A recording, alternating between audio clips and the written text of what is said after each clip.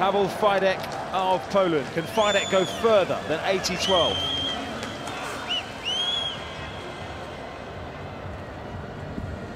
Oh, I think he can. Pawel Fajdek of Poland is the world champion for the fourth time in a row. Away first time, and Holloway got a terrific start. He's the leader at this early stage. McLeod as well. It's Holloway from McLeod. Shubenkov on the near side as well. Still just Grant Holloway. McLeod trying to get back. McLeod's gone. Grant Holloway comes through to take it. Shubenkov the silver. Martinot Lagarde the bronze. 13.11. Omar McLeod's race went wrong, but boy did Grant Holloway's go right. He sets off around the Khalifa Stadium. Grant Holloway for the... Grant Holloway, you are the world champion in the 110 metre hurdles, and what a difference two years makes after being a reserve in 2017. Tell us about this moment. Moment is special. First one's always the best one. Um, now it's just one of the things, you know, you just try to relax and have fun and soak it all in. I mean, obviously you came here in as a world leader. You had all the pressure on your shoulders. Were you like living up to that? Were you playing on that? Were you using that to your advantage? Never. Um, I came out here worrying about my lane, my space, executed each round, and reserve, reserve, calm the whole time. And I, I think that was the biggest thing with me this weekend. As long as I stay calm, take the title of the meet off, don't forget it, don't think about who, who is in the race, just relax and have fun. And you were the blue ribbon event tonight. You got the light show. Did that kind of add to the pressure, or did you just thrive on that? I tried to just have some fun. It's a blessing to be here, you know. Not everybody could say they're at World Championship. So I soaked it all in and, and, and made the best of it. I bet you're pretty pleased that you picked this event over the long jump now, aren't you? Oh, absolutely. Ooh, they were jumping. and, a, and a career in obviously American football as well. You had loads of options. Why this event? Um, appreciate it, brother. Thank you. Um, it's just one of the things, you know, it's just what I wanted to do. Um, I'm, I'm pleased with the way God led me, and I, I give all the glory to Him. And a word to the University of Florida? Go Gators. Go Gators. Congratulations, Grant. Hang on, right. Second, and you, oh gosh, okay, right. Sergey, Sergey Shubenkov. The only, the only people who would like to interview me Can I- three times for this competition. After, after every round, you would like to interview me. Thank you so much. You're the only one so far. Well, it's because you just got a medal. Why would we not want to speak to you? Well, actually, it was a tough, really tough medal for me. I'm really glad this is over, and I'm really glad about the outcome. So I got second at silver in the World Championships. This is my fourth, fourth medal in a row uh, from the Worlds. I got now two silvers, one bronze, and one gold. Of course, I would like to, well, gold would be more preferable, of course, but uh, I'm really glad. I had this really tough season this year. I had a really nice in- injury in June and really painful recovery, and I, I have overcome a lot this year, and I'm, I'm just glad this is over. And and and I even got a medal. Oh my God! So this is this is over. Just it could be better, but it actually couldn't. You seem really shocked with it. Your season was building though, up until this point. You came here in good form. Why are you so shocked? Um, I cannot, no, I'm not quite shocked. I'm just feeling, uh, you know, really like emotionally empty so far, exhausted. A little bit shocked, I could say. So I really cannot. It's hard to believe, but remembering that what differences, I, uh, difficulties I've managed to overcome this year. So uh, it's really uh, th- there's really a lot to consider. So yeah, that's a little bit lost. So sorry. Yeah, you had injuries, of course, this season. You just alluded to them. How do you keep motivated and keep mentally strong uh, and then go out there today and do what you just did? I don't know. well, of course, my my family helped me a lot. My coach uh, was really. I felt for some, for periods, I felt like he was dragging me out of this because I really, um, you know, I really always been keeping. I've been really keeping in my mind that you know I could quit and and drop everything and just stop stop uh, every tra- stop any training and go away just any moment. So any moment I could quit, and you could quit any moment. So this really helped helped me to uh, to go on. You didn't quit. You're a silver medalist. You're a medalist once again at the World Championship in the 110 meter hurdles. Go and enjoy this moment. Really enjoying. Thank you so much. Ah, stay, stay. He carry. He wants to carry on chatting. Well done, Sergi. Thank you. Pascal Martinot Lagarde, congratulations there. Third place in the men's 110 meters hurdles. The smile says it all. Tell me how it feels. I'm really, really happy. It's my first uh, medal in World Championship. You know, four years ago I did fourth. You know, Olympic Games I did fourth yeah. again. So I wanted, I really wanted to go home with a medal, and so I'm really happy to to win finally a bronze. Today. When you get a fourth in Olympic Games and a fourth in the World Championships, it must be quite hard. How do you overcome that and go out there today and do what you just did? The, the worst is the the digest. You can't you can't sleep during some days after being forced. You can't you don't have appetite. You, you everything is you're sad. You're just sad.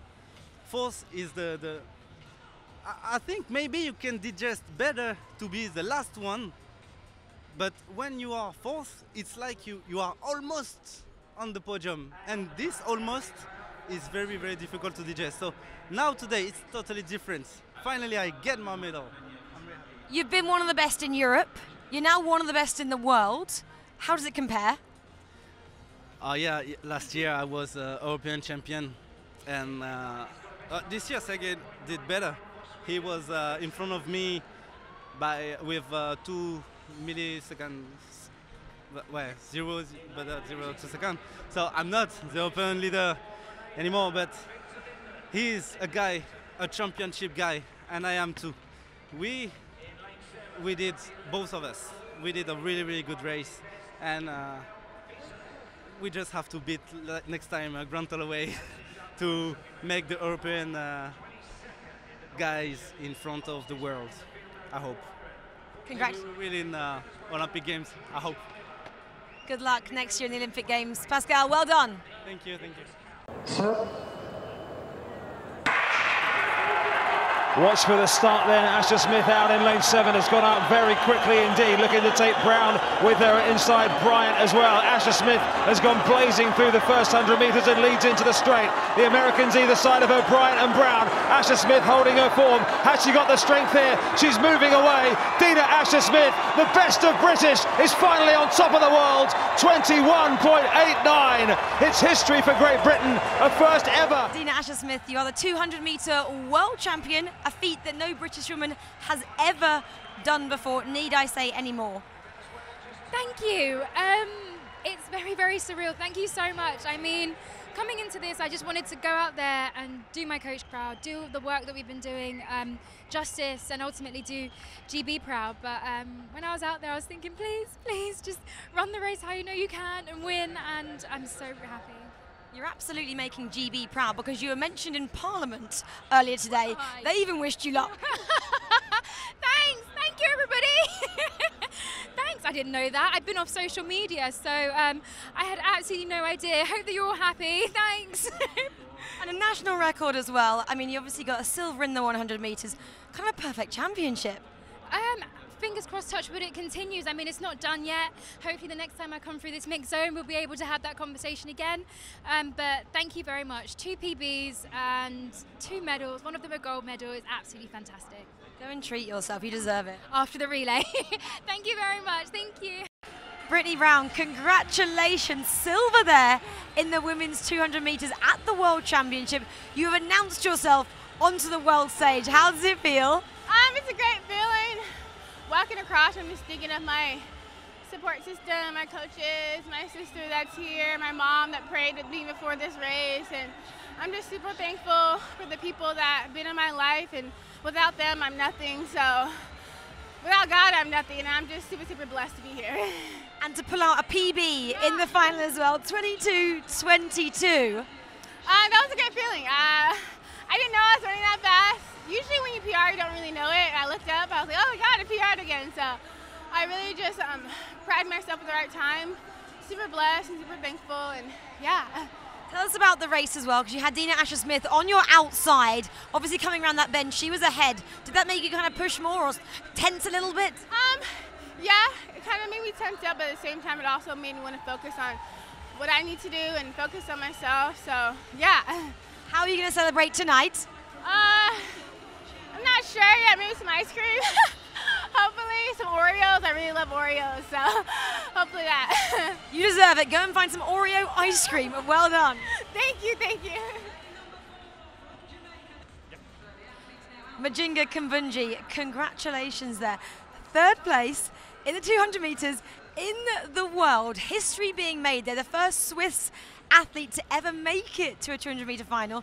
Just sum up your thoughts right now. Um, it's hard. um, I think I don't really realize it. Um, I'm so happy. I was so happy yesterday that I made the final. It was um, it was a long way, and um, um, I was just so happy to run here, to be here. I knew it's gonna be tight. I knew I just have to be uh, to have to do a really good race, and I'm so happy. I was really focused on myself. I was able to do a good race, and and it was enough. I did the medal. Because you made history even by getting to the final. Did you manage to sleep last night? Uh, late, really late. But uh, I slept long this morning, so I was uh, totally fine. and what did your coaches say to you coming into the final today? Did they tell you to change anything at all?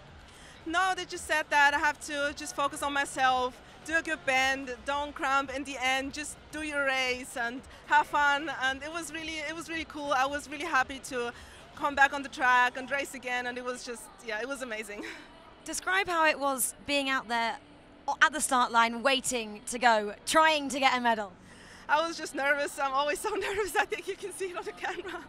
but I really need it. It gives me a lot of energy. And then I just wanted I just wanted to go. I just wanted to show what I have in my legs to do the best race, even if it's enough or not. I was just wanted to, to do a good race.